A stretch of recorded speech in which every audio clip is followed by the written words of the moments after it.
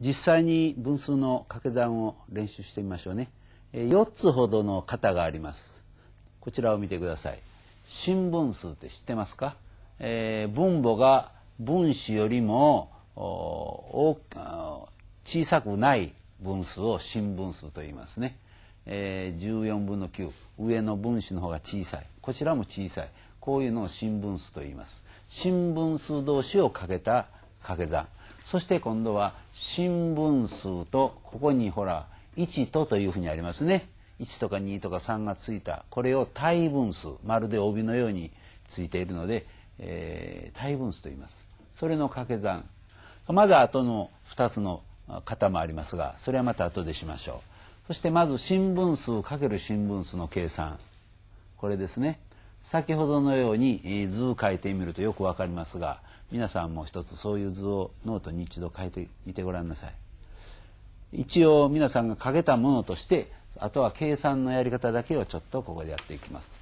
で分数の計算の場合にはこの横へ横へとこうやっていくと自分の書いたのがねどのどれをどう書いたのかわからなくなる場合があるので下へ持っていきます。この問題が出たら必ずこの下に次の計算をやっていきます。その場合にここへ「は」とは書かない。これは書いてはいけません。どうしてかいうとこの14分の9がどうなるかいうことが分かるために一応この和をこちらの外へ出してこの下にやっていきます。そしてここは先ほども勉強したように単位分数単位分数も新分数ですね。単位分数同士の時にやったように分子かける分子。それの答えをと同じようなやり方をこちらもやりましょう。9×2 ですね。そして 14×3 ですね。こういうようにして、えー、分子は分子同士分母は分母同士を掛け合います。そしてそれをここへ計算したらいいんです。この和の印必ずこの真下に書いてくださいよ。そしたらもうここ簡単です。このようにここすぐかけていくと42分の18というふうになるんですね。そうなるとこれ約分簡単にしていかなくちゃならない。そうするととても面倒な手続きをしなければなりませんね。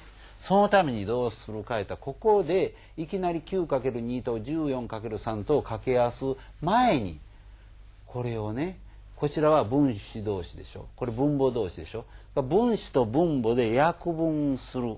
簡単にするいうやり方をやっておくんです。そうすると後の計算がねとても楽になります。さあこうしてやってみましょう。9と3はどちらも3で割り切れますね。だからこれ3で割るよと言ってここへ3と書きます。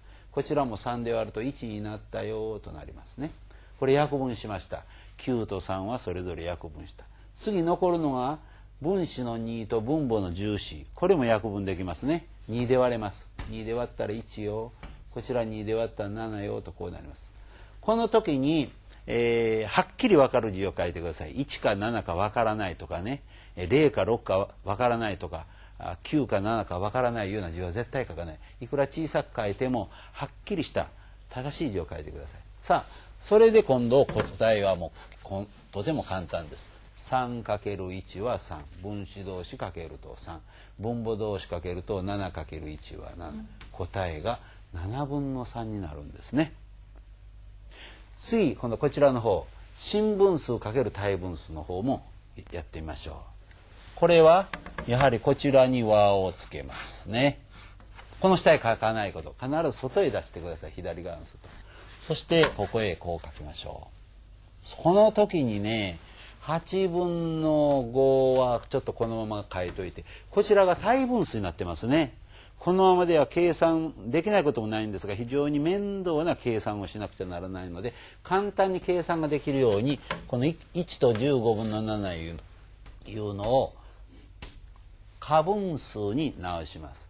15 1というのは15分の15ですね。15分の15。15分1は15分の15。それとこの15分の7とこれと合わせたのが1と15分の7ですから15と7を足してここ22ですね。つまり1と15分の7いうのは実は15分の22という過分数と同じだと。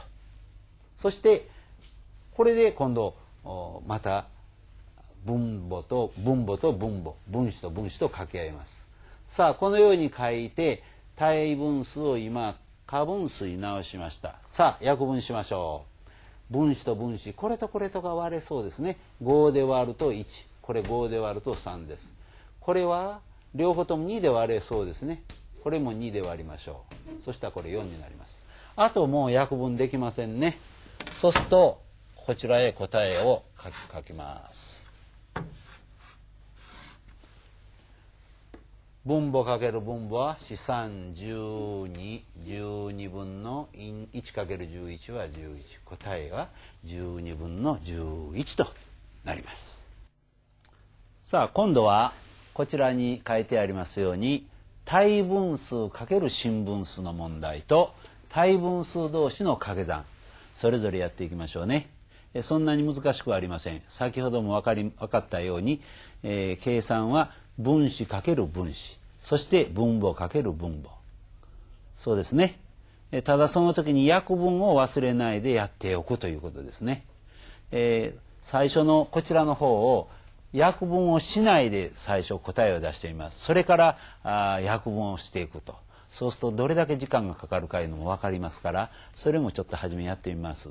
そして途中で早く約分する方が便利だなということをその後でやります。さあこちら見てください。はい、やはり和はこちらへ書きましょうね。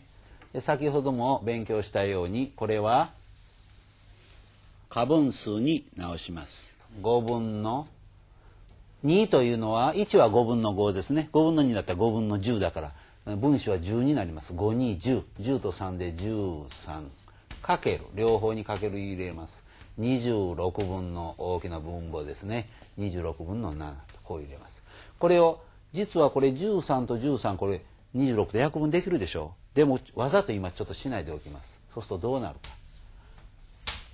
5×26 は130ですね。上の方は 13×7 で91いやこれは困った。どう何から約分していこう。1はダメ2ダメ3ダメ4はできない5ダメ。6もこれ無理7 7かな思ってもこちらが7はできない。8ダメ9ダメとこう言っていくね。とうとうしまいに1313 13までいかなくちゃならない。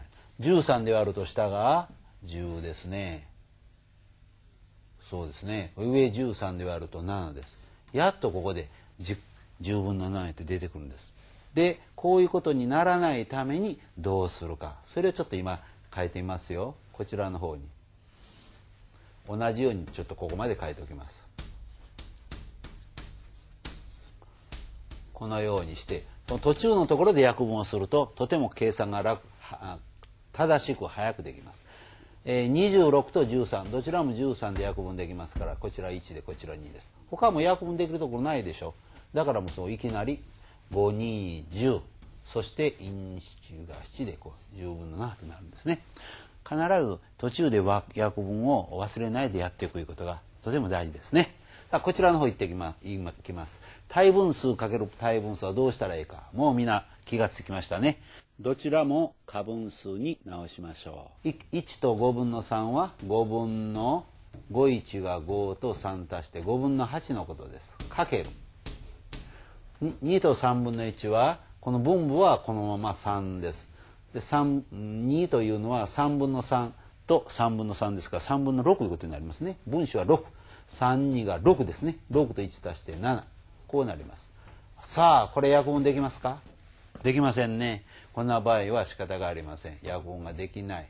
約分ができない数をはそのまま分母は分母同士15上は8756これで終わってしまってはいけません。これは過分数になってますね。その過分数を今度対分数に直します。15分の15で1 15分の30で2になるね。15分の45で3になります。いちいちそう考えなくても56の中に15が何回あるか3回あります。残ったのは56からこれの3倍が 15×3 は45です。